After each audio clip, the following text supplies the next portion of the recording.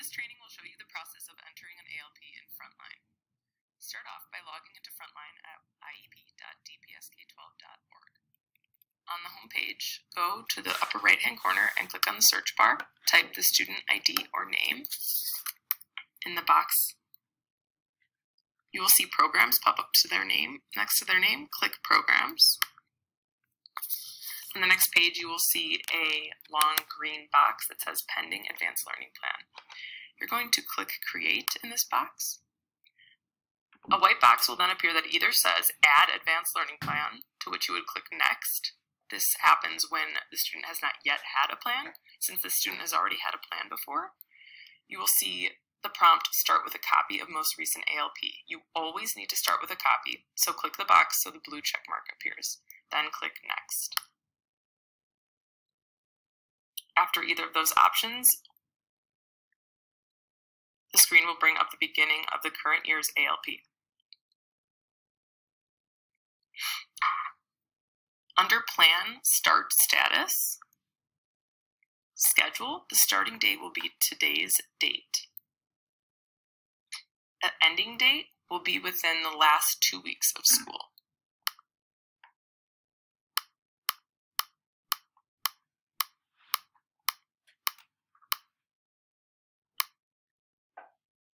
Under Identification, enter the identification date, which must be at least one day before the schedule start date entered above.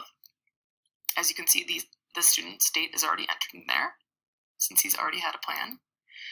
Then you're going to select the areas of giftedness or strengths that you will be writing a goal for. Again, the student's strengths are already clicked since the old ALP is rolling over. Keep scrolling down and answer questions in the student profile. These will typically be no, but be sure you have checked with appropriate school staff and team members.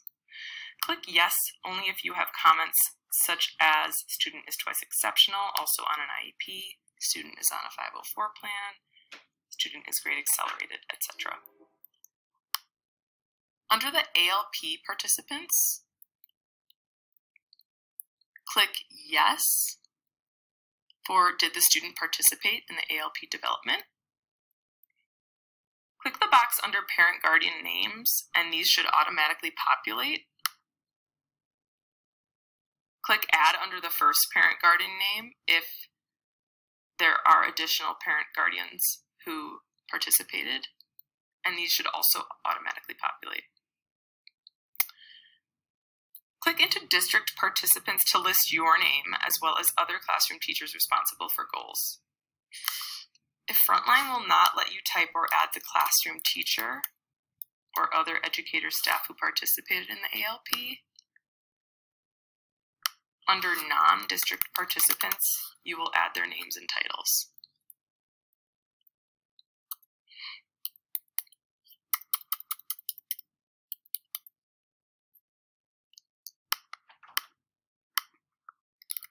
So since it didn't let me enter that teacher under district participants, I am going to enter her by hand under non-district participants and put the title teacher or classroom teacher because this will still show up in, in the printed ALP without that non-district participant title. Under goals, we're going to check achievement goal and affective goal. Then you're going to click begin achievement goals or um, academic goals.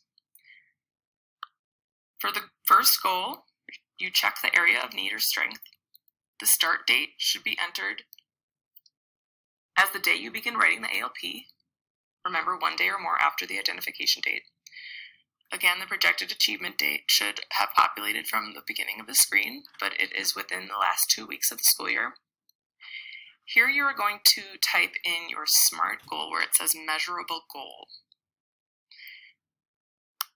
You may not leave the goal the same and simply change the standards. You must make the goal new, different, and specific to this year based on the teacher, student, and parent involvement. If you have already have a document, which would be highly recommended with this goal drafted, the comment box is where you're going to copy and paste it.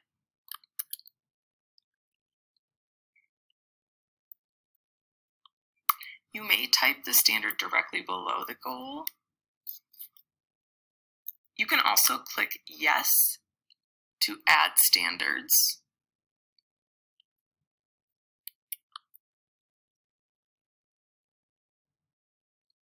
And this will bring up the drop-down menu. Content area is reading, writing, and communicating for this goal. Grade level.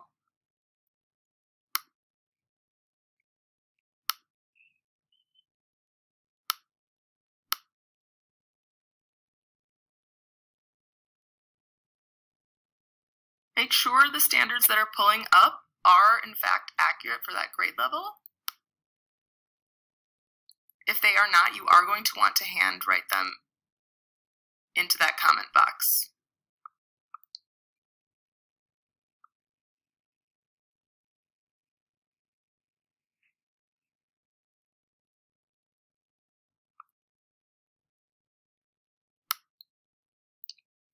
Include instruction strategies planned throughout the year to help the student meet the goals.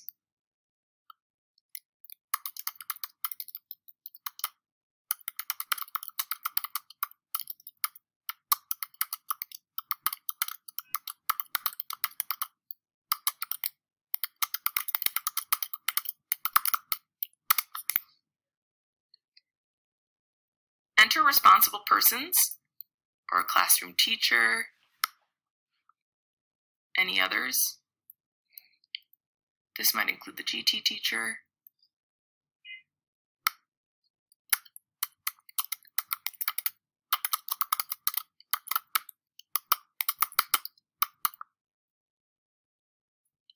Do not enter anything in the progress monitoring comments section.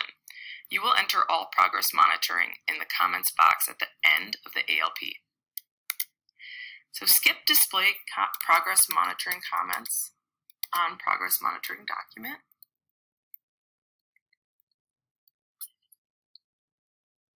Under CDE worksheet, would you like to record structure, content, and differentiation options using the CDE worksheet?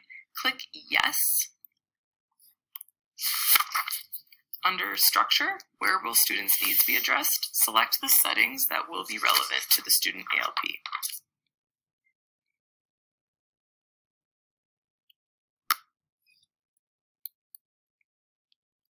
Under content options, are level one content options being utilized? Select yes or no.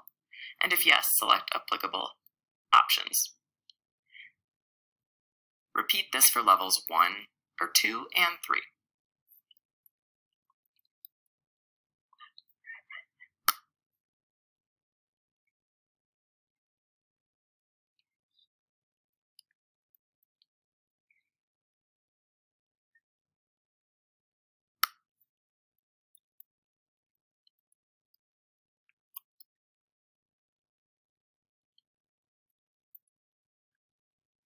Under differentiated instruction, select yes or no for is acceleration being utilized.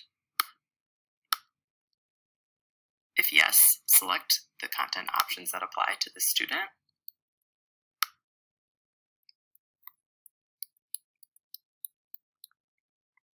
Also for our depth, complexity, and novelty being utilized, click yes or no, and if yes, the options that apply for this student's programming plan.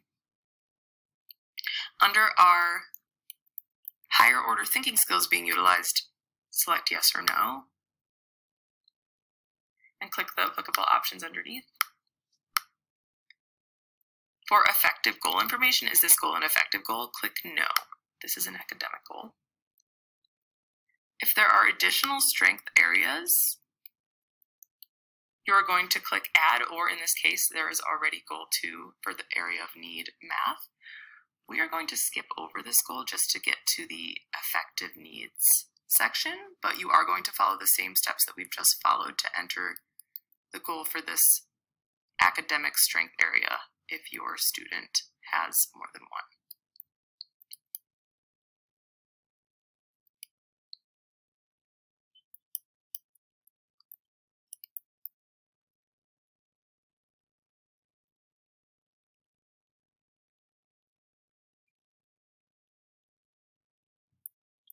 Now we're down to the affective goal. It says area of need affective. The start date, again, and projected achievement date should automatically populate from the academic goals and from the beginning of the ALP. You're going to write your measure measurable goal here and be certain the goal includes the way it will be measured. Again, you may not use the same goal as last year's ALP. You should already have discussed this with the student family and have it ready to go.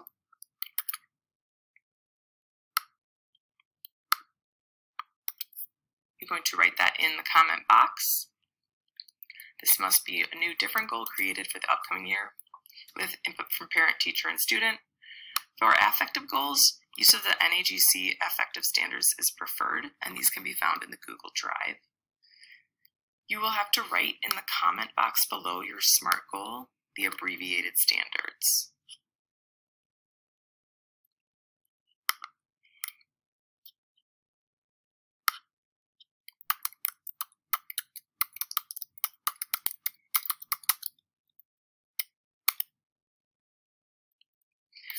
Always select no for please use add standards for affective section. Then you are going to write instructional actions and strategies again in the box.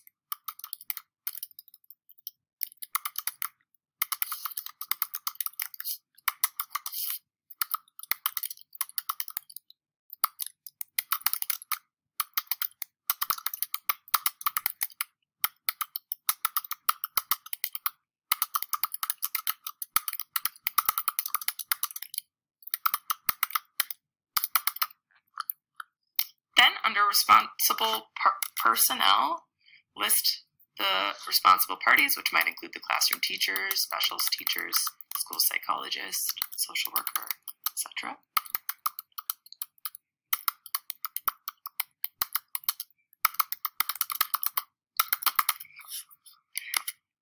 For the progress monitoring section, do not select anything do not use this progress monitoring comment section again. You're going to record this at the end of the ALP.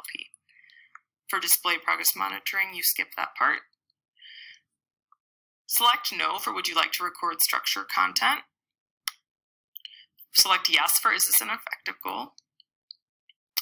Then depending on which competence area you've chosen, select yes for the one you've picked and no for the others.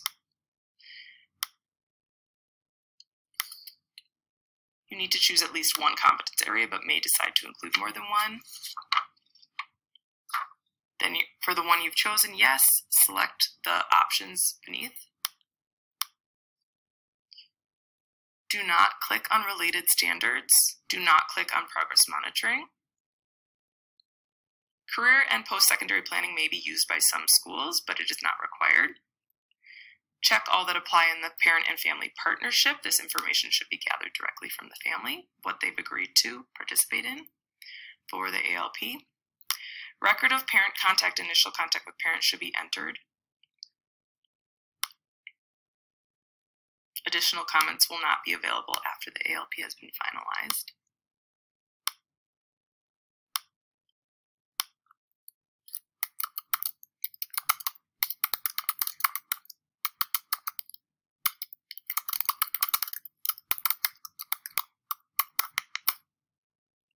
For summary of actions, you may use this to indicate the steps in the review process, but it is not required.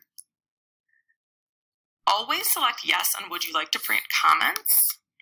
This is where you will progress monitor after the document has been finalized, which will be required to be entered for all ALP goals twice a year.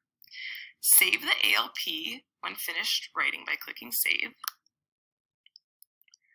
When the goals are completed and the parents have had the opportunity to review and suggest changes, finalize the goal by clicking Finalize. When the white box pops up and asks if you want to finalize, click Yes. Finalizing must be completed by November 1st.